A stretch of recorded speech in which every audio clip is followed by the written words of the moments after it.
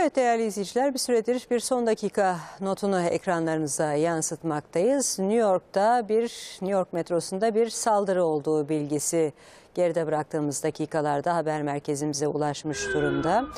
Reuters birden fazla vurulan var, patlayıcılar bulundu ilgisini e, paylaşmış. New York itfaiyesinden yapılan açıklamaya göre 6 kişinin vurulduğu bilgisini de yine sizlerle paylaşabiliriz ve e, New York City metro istasyonunda patlayıcıların bulunduğu e, bilgisi de yine itfaiye tarafından paylaşılmış durumda değerli izle, izleyiciler. E, bu arada bazı gözaltı işlemlerinin de olduğunu yine sizlerle bir son dakika notu olarak paylaşabiliriz.